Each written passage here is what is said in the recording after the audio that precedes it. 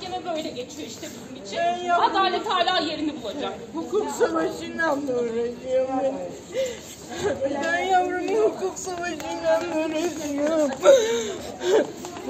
Yavrumun haklarını bile oraya götür. Davaları bitmeyecektir. Bunlar cezalandırılmadığı Bunlar çıkarlar yapma çıkarlar. Onların da ciğerleri Bunlar çıkarlar para. Bizim ciğerimiz nasıl koptuysa yarısından alıp gittilerse onların ciğerleri de yansın.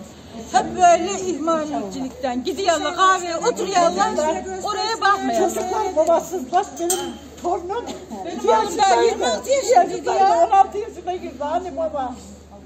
30 madenci, ben Erdem Aykin'in ablasıyım. 30 madenci yerin altında mühendislerde belki suç vardır, illaki vardır. Ama mühendisler cezaevinde adamlar 13 senedir dışarıda geziyorlar. Takım elbiseli. Benim kardeşim daha takım elbise giymedi sırtına. Evlenmedi bile. Benim 22 yaşında kardeşim yerin altında onlar takım elbiseyle adliyeye geliyor. Mühendisler kadar onlar da cezasını çekecek.